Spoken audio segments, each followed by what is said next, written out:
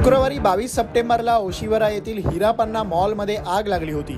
आग एवढी मोठी होती की अग्निशमन दलाच्या पंधरा ते वीस गाड्या घटनास्थळी दाखल झाल्या होत्या. पोलीस फौजफाटाही बराच होता. दुपारी तीन ते साडेतीनच्या दरम्यान लागलेल्या या आगीत वीस जण अडकले होते. त्यांची सुखरूप सुटका अग्निशमन दलाच्या जवानांनी आणि पोलिसांनी केली. सुटकेचा हा थरार नेमका कसा रंगला हे जाणून घेऊया ओशिवरा पोलीस ठाण्याचे वरिष्ठ पोलीस निरीक्षक मोहन पाटील यांच्याकडून. आज दुपारी तीन वाजण्याच्या सुमारास आम्हाला हिरापन्ना मॉल या ठिकाणी आग लागल्याबद्दल संदेश मिळाला होता.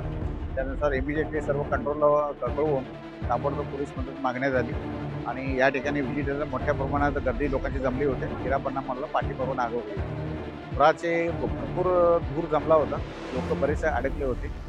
त्यांना फायर ब्रिगेडने फायर ब्रिगेडचे बरेच जवान आणि पोलिसांनी आमच्या ओशिराव पोलिसांनी त्यांना काढलं. आम्ही स्वतः वगैरे आमचे दहा बारा लो ऑफिसर आणि आमचे अंमलदार वरती टेरेसवर जाऊन जे जिममध्ये जवळ अडकलेले नऊ लोकांना आम्ही वरती बाहेर काढलं. त्याप्रमाणे फायर ब्रिगेडने सुद्धा शिडी लावून म्हणतो त्यांना बाहेर ओढ काढलेले आहे.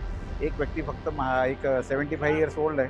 त्यांना सफोकेशन वगैरे झालं होतं पण त्यांना त्या हॉस्पिटलला जा नेलेलं आहे. त्यांची प्रकृती सुद्धा चांगली आहे.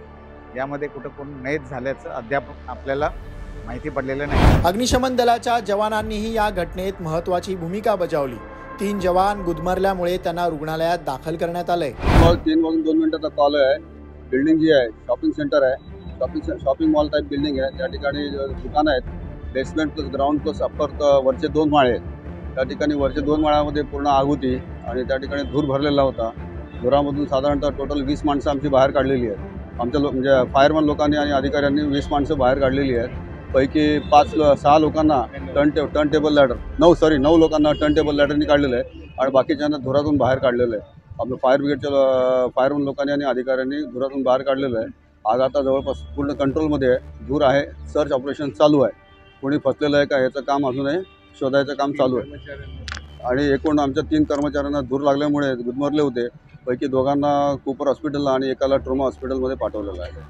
पोलिसांमार्फत आणि अजून चौकशी चालू आहे. आग विझवल्यानंतर आत कुणी अडकलेलं नाही ना याचा शोध घेतला जातो आणि धूर धुमसू नये अशी व्यवस्था केली जाते.